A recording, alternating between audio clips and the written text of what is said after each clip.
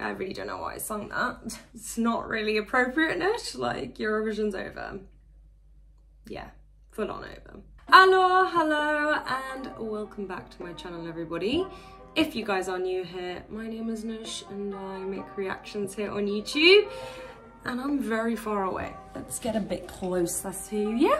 And today we are going to be continuing on my post-Eurovision depression series that I've been doing over here where I've been looking at this year's Eurovision artists their new music and also some of their past music. We've been looking at Angelina Mango's new album, Marina Satti's, even Ladaniva had a song come out, and another artist that I have been looking at that I am, I am literally shaking myself why I haven't done this sooner is Joost, who of course represented Netherlands in this year's contest.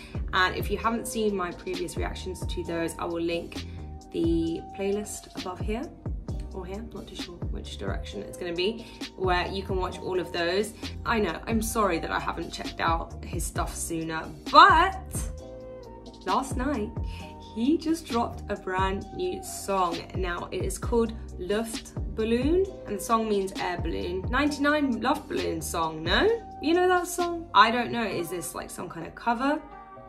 I'm not too sure. I would click on the one that was announced last night, but apparently the lyrics are really important in this. I found it! Okay, fine, we have English subs. We're all good in the hood. So without further ado, why don't we dive on in and see what Luft Balloon is all about. But before we do so, please do not forget to like and subscribe to my channel over here. That is very important clicking that notification bell so you don't miss any of my videos. And if you'd like to follow me over on Instagram or TikTok, it is Noosh 101. Let's go. Okay, clicking play. This, the imagery, that's something in it. Okay, nostalgic melody already. Mm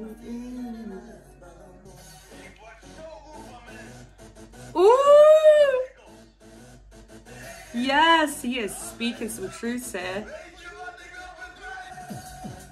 I knew it was coming. Oh, that sample, I'm here for you. What is that? I know that. It, it's a very classic house sample right there. 54 seconds in and he's already freaking got me. Let's be honest, has any one of his songs not done that? No, because he brings that nostalgia dance beat that I absolutely always love. And I feel like I'm always saying that, but that is just the vibe of me, I think. Like, I just, I need that kind of music in my life to be happy. He's speaking some like quite deep thoughts and meanings about his life. It's like he's hitting back at his haters with the beat if that makes any sense, probably not. Anyway, let's continue because I'm rambling.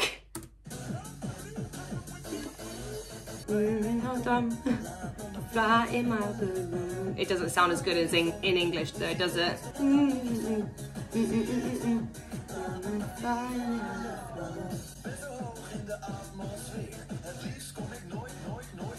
Ooh! Yeah, honestly, he, uh, can I speak it enough? He's speaking truth. Live your freaking life. Don't be depressed. Move on. There's shit people in the world. It's gonna happen. There's nothing you can do about it. So just live your life and have a party. That is literally my motto. That's probably why I like his music so much. Na na na na na na na na na.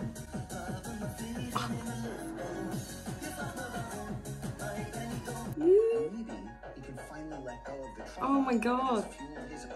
Since the very beginning. That chapter hasn't been written yet. God, how like it's like when oh once again with the Renegade Master. Jeez, no, stop doing that. Okay, so as I was about to upload, he just released the music video. So I think we should still check this one out now because I can't not see it. But at least we got the lyrics in there because I think that was pretty important from that. Okay, let's go for round two here. I'm dead. This is very Sims, isn't it? Speaking of nostalgia. the windmills. oh gosh, he loves a bit of gore.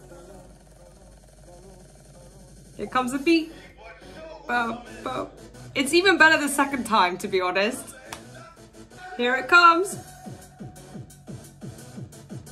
Yeah, oi! He's getting dragged through the rave.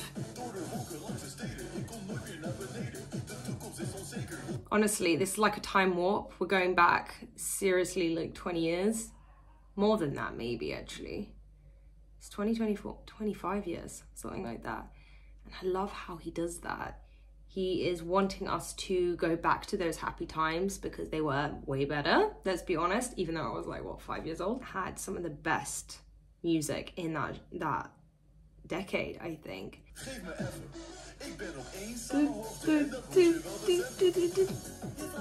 Oh, there's like, what's the word? Industrial sounds. I love it. Mm -mm -mm love balloon. this is so good though. It's very, very creative. And from an artistic perspective, he always ticks those boxes, does he not? Anyway, I think I have the same opinions and thoughts after I listened to the lyric video. So let us go back to Past Noosh.